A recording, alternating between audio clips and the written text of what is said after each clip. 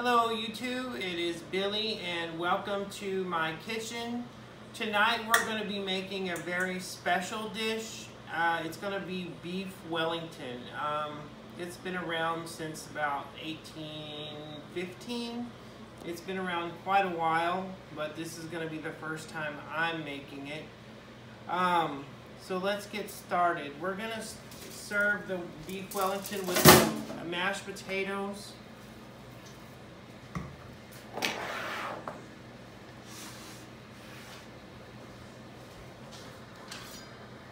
So I've, I've peeled four medium-sized potatoes and we're just gonna slice those up.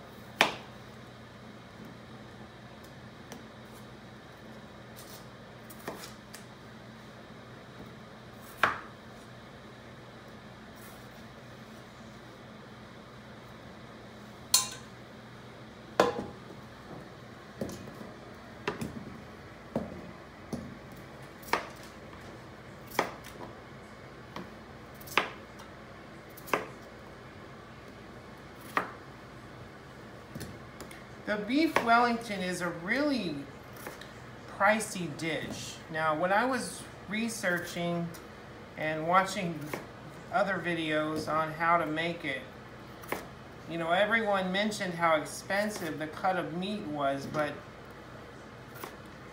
you really, it really didn't sink in until I went and ordered my filet of beef. That little piece of meat was $37. So when they say that was one of the most expensive cuts of meat on the cow, they're not lying. So it's very tender, will cook very evenly. And because this is a, a new dish to me, I wanted to showcase the beef Wellington, so that's why I'm serving the mashed potatoes. They're just simple, and it'll pair well with the meat.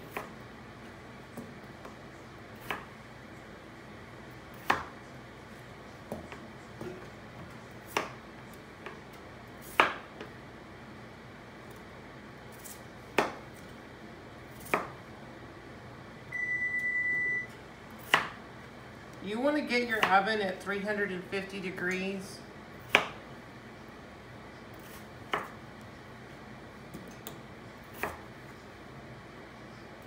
While you're getting everything prepared.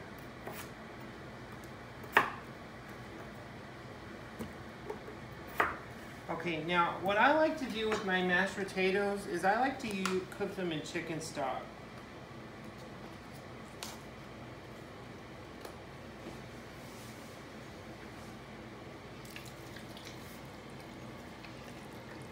And if the container is not enough, you can just add another uh, carton of water. And then you're just gonna let that boil like you normally would.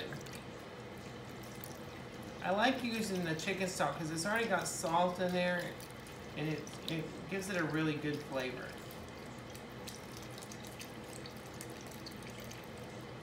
And I'm gonna add a little bit more water. About a, another whole carton.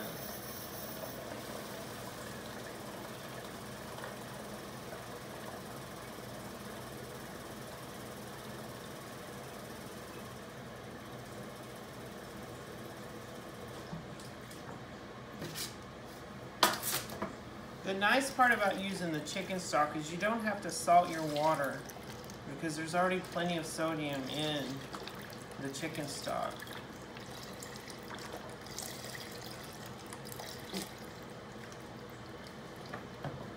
Alright, and we're just going to take that, put that right on the stove. Pretty high heat because you want it to cook pretty quick. The beef Wellington is actually not going to take that uh, long. You're spend a lot more time doing the prep work than you will actually um, working with the meat. Okay, so we're going to go ahead and stop for a second. Okay, we're going to go ahead and start seasoning the meat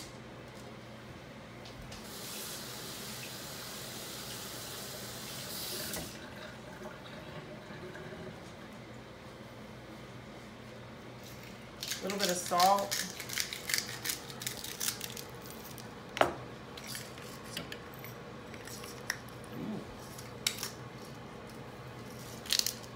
Some fresh gra ground pepper.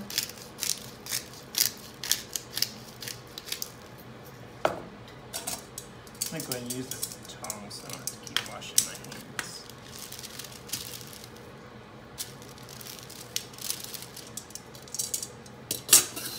Alright, we're going to salt and pepper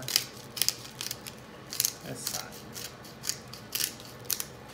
Alright, now you're going to take a basting brush and some horseradish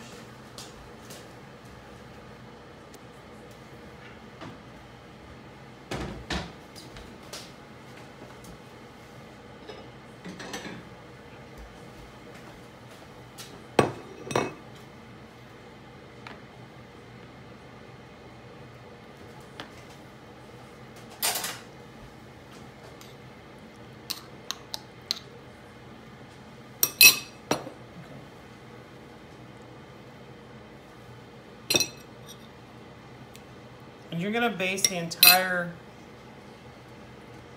piece of meat with the horseradish.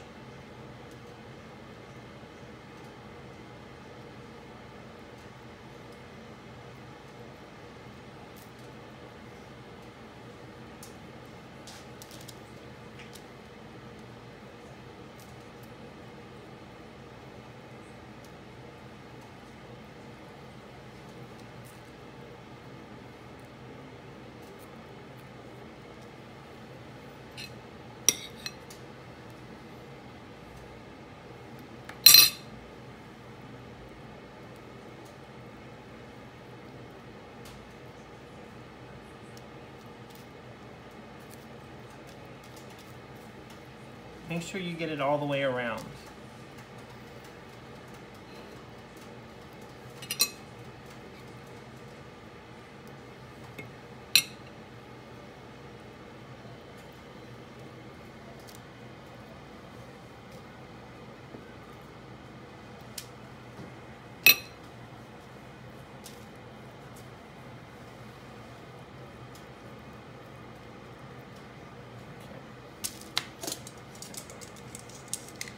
going to use our tongs again to flip that over.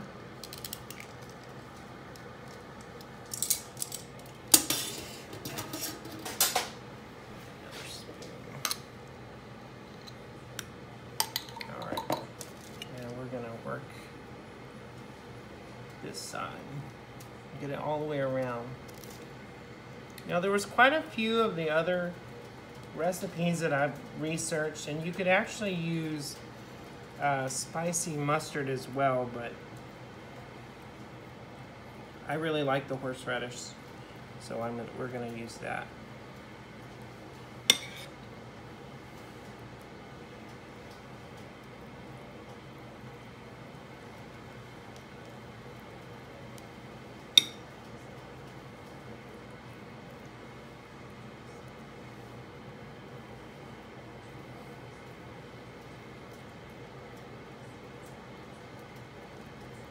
Okay. Now, while that is sitting like that, we're gonna go ahead and get our mushrooms. You need a small container. It's a, a small can of uh, chestnuts and some parsley.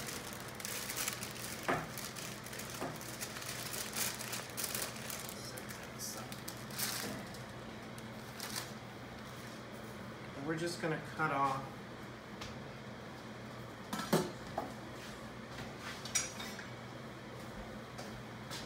I'm going to need about a quarter cup of fresh parsley.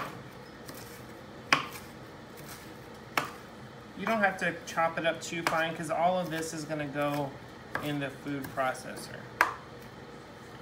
Now,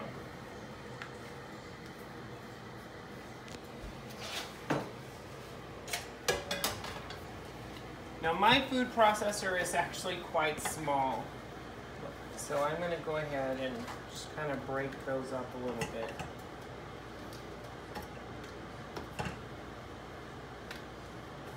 Uh, I used uh, port uh, the baby portobello mushrooms. They're really good. I like those.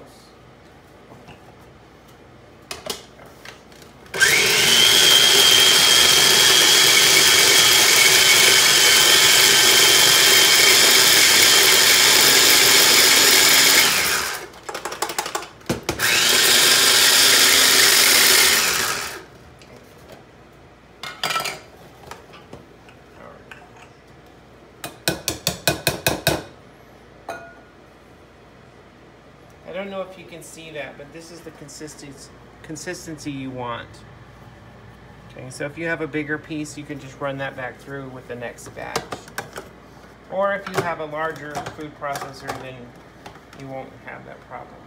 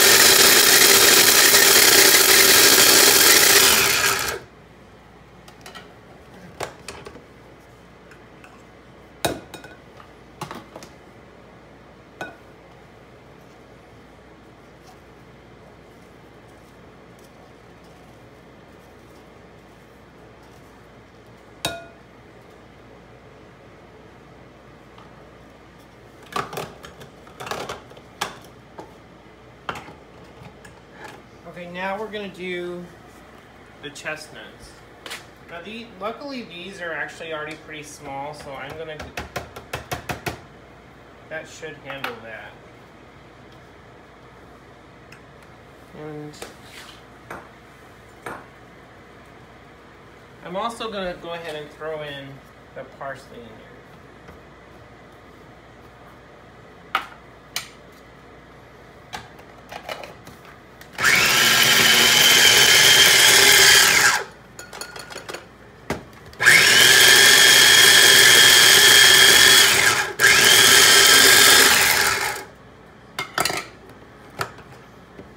These little processors are really nice if you're used to having small amounts of food, but when you start working with larger batches of food for more than two people, they they tend to be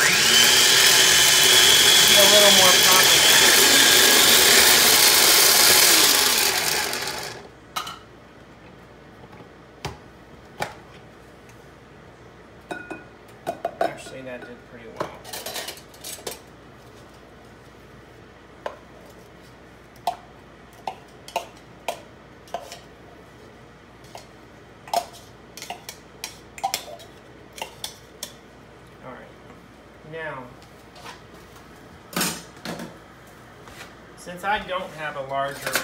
processor. I'm just gonna work that all in together with this spoon, just until it's all incorporated.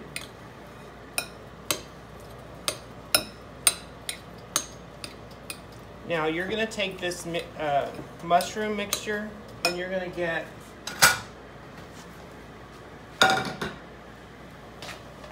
pretty large skillet and you want to heat, up, heat that up pretty high. Uh, you're gonna go ahead and dump that in. And basically you're just gonna dry cook this until you get all the moisture out.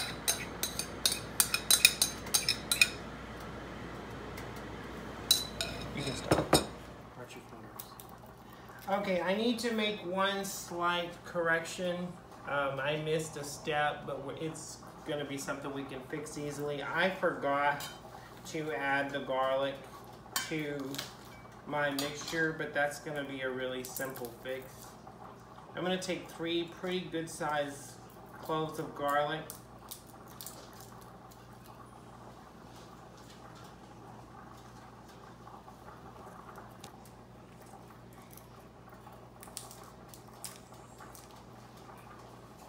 And we're just gonna mince that up pretty, pretty finely.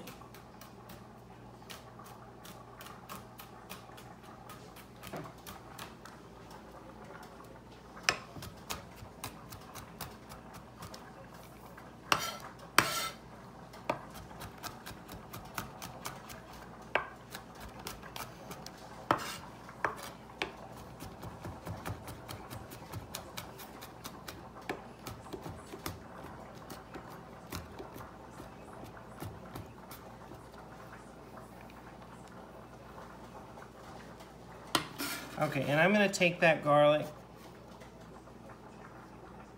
and I'm just gonna add that right into the mixture and toss that around.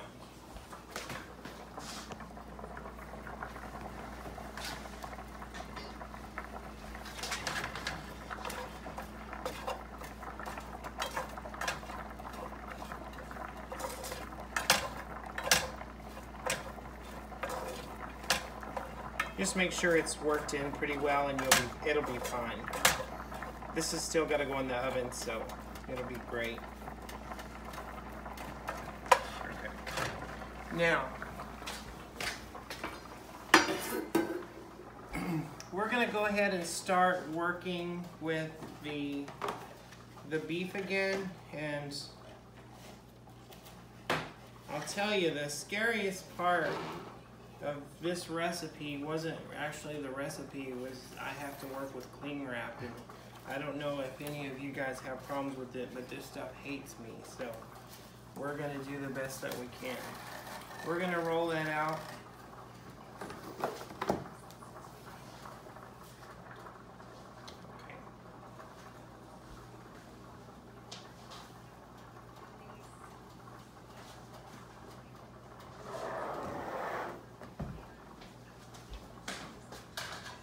get your mixture close.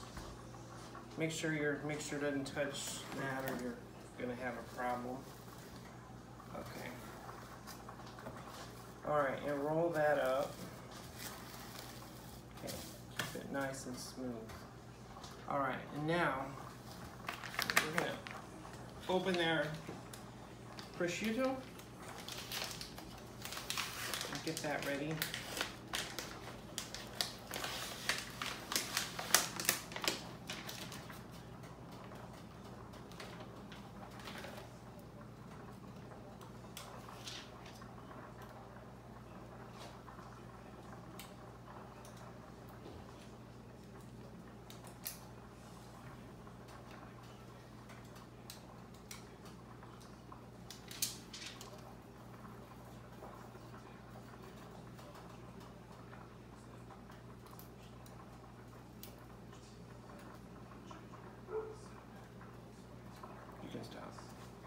Okay, now that I've got the prosciutto laid out and overlapped, we're gonna take the meat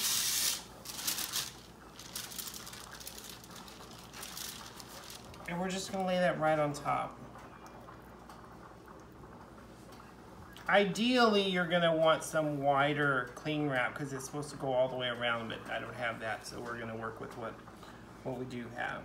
All right, so we're gonna take this your mixture and you're just gonna pat this all the way around and you can just use your hands.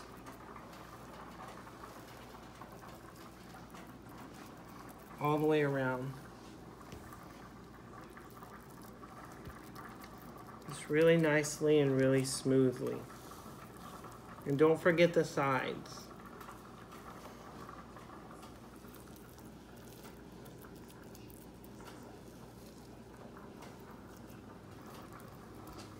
You can really smell the heat from the horseradish, but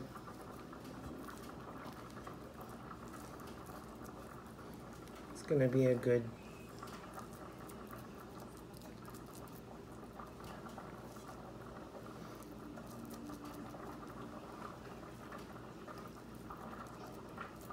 Good. All right, we're just gonna do this little tail down here. Now,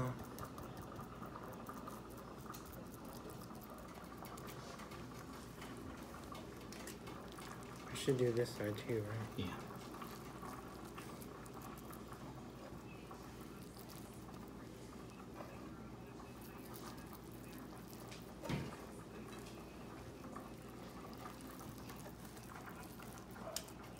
Okay, that's good.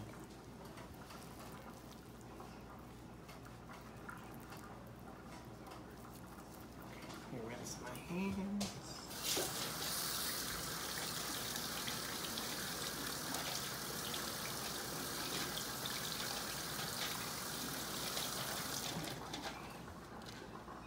Okay, now we're gonna roll this up so the prosciutto goes all the way around. Nicely.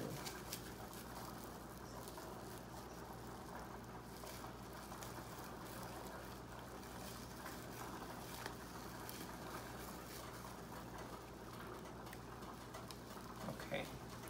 Now, you have to get this wrapped really well. So, since I don't have longer, wider cling wrap, I'm gonna just twist that and go around the other way. But you want that really, really tight.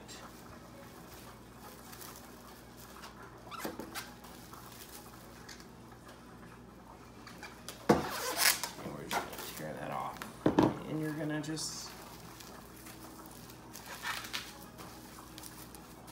wrap that as just make sure that it's wrapped all the way around pretty snugly. Okay, now you're gonna set this in the refrigerator for 15 minutes.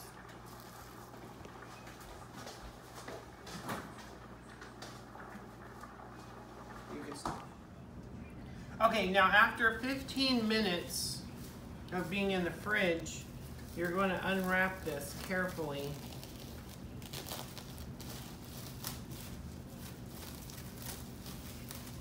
And I've got uh, aluminum foil, and, I, and I've cut off two sections of the same length.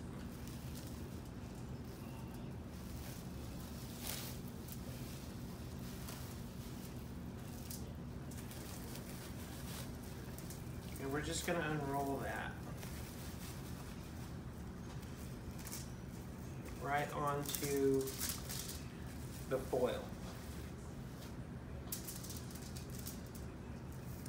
Okay, and now we are going to roll that, the foil pretty tightly around your meat. And then you're gonna roll that, finish it off. Okay, and then I'm gonna wrap that again.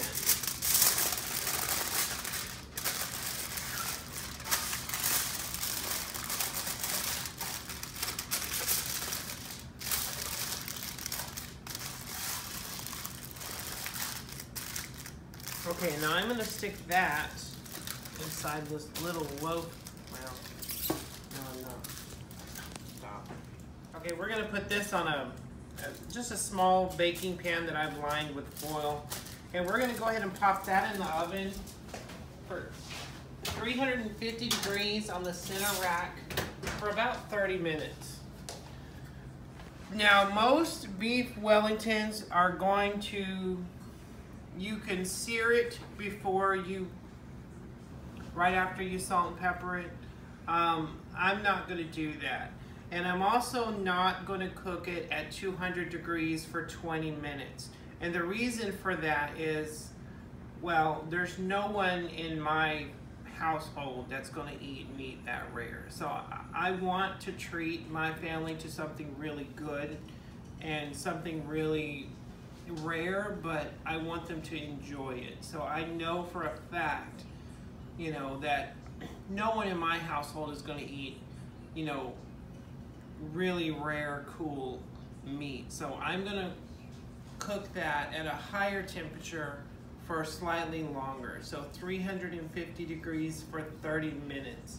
And then I'm gonna check it and make sure that it's to where I know that we will eat it and we will enjoy it. That's it. Okay, now that our potatoes are done, I'm just gonna drain those.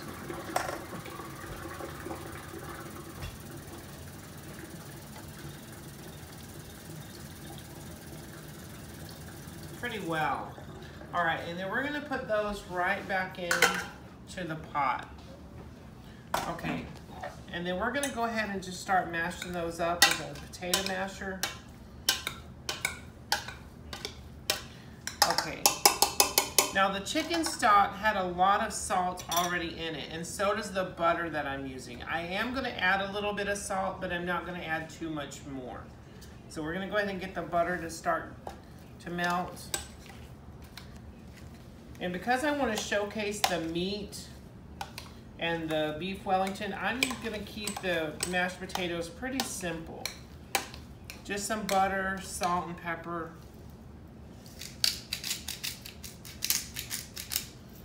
And maybe a splash of milk.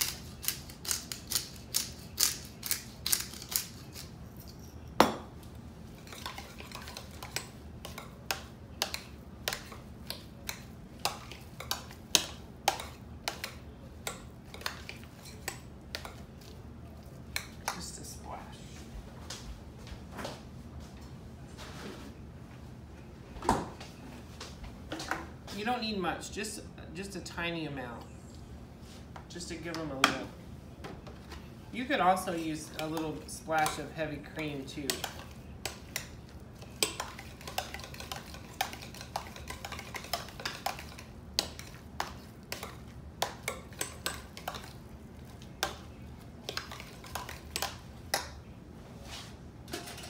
All right, we're just gonna taste that.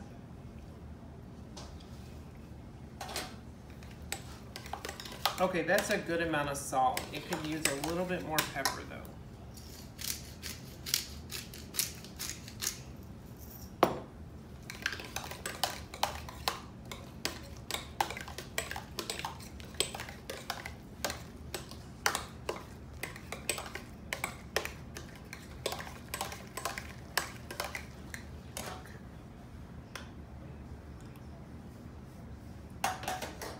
maybe a little bit more salt.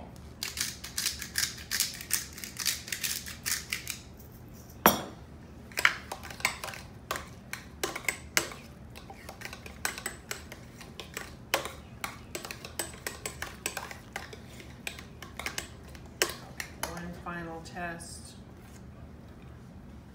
And that's perfect.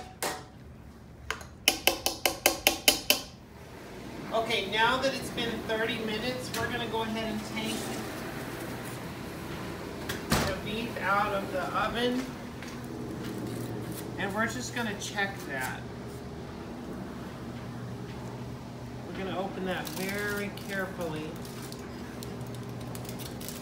It smells good.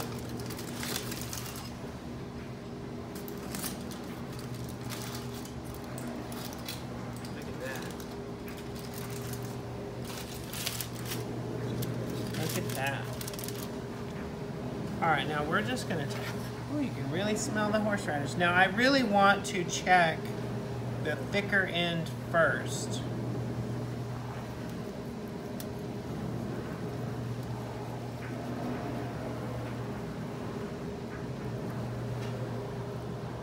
That's really nice and red, but it's not bloody.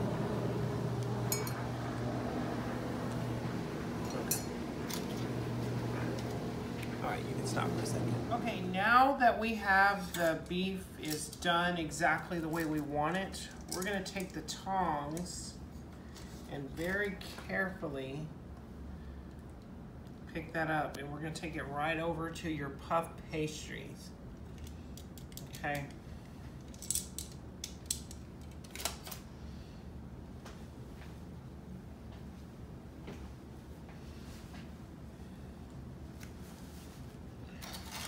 Move that out of the way. Okay, so now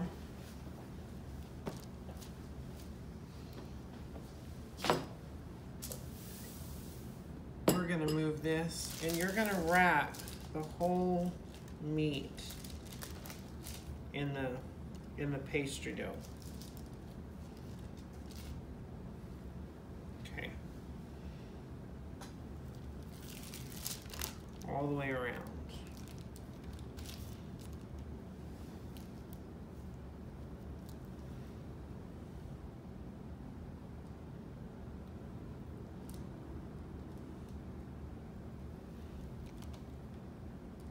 And you want one single layer. You're gonna twist that on the ends, and then you're just gonna take and cut off the excess. And then you kind of want to roll that, or just make sure. Okay, now what we're gonna do is we've got two egg yolks with a tablespoon of water and you're just gonna whisk that up together.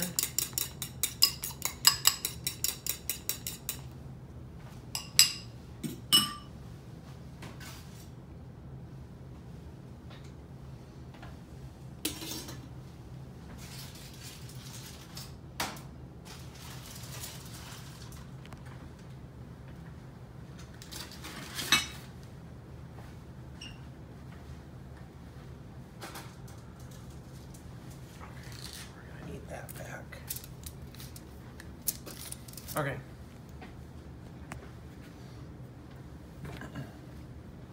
Now we're just gonna baste. That very care, very carefully. Put it right there. Okay. And now we're gonna take the egg and just brush lightly, lightly, lightly all over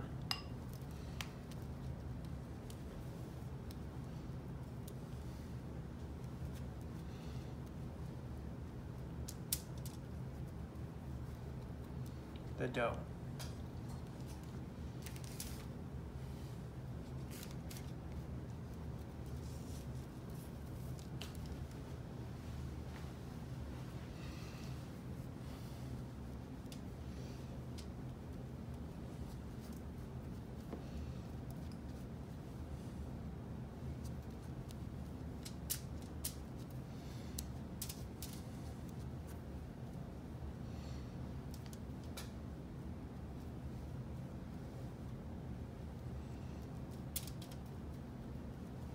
Okay.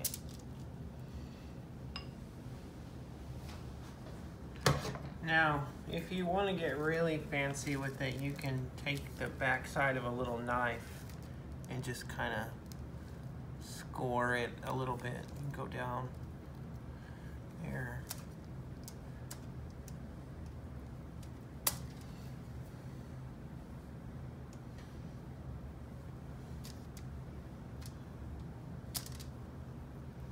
Okay, now we're gonna take that and put that back in the oven, same 350 degrees, just until the pastry dough is done.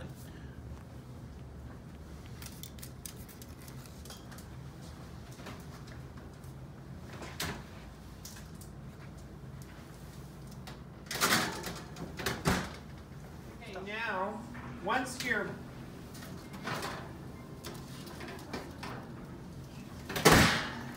Once your pastry dough is completely done and it's golden brown and it's firm, that's perfect. That's exactly what you want. All right, now we're gonna go ahead and carefully slice this into little sections.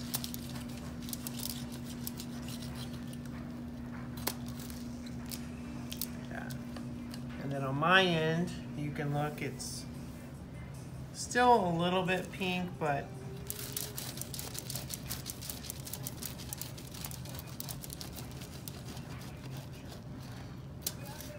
That's good. That's good.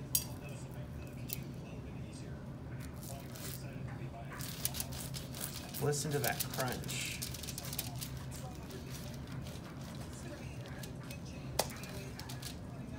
All right, and that's how we do beef Wellington.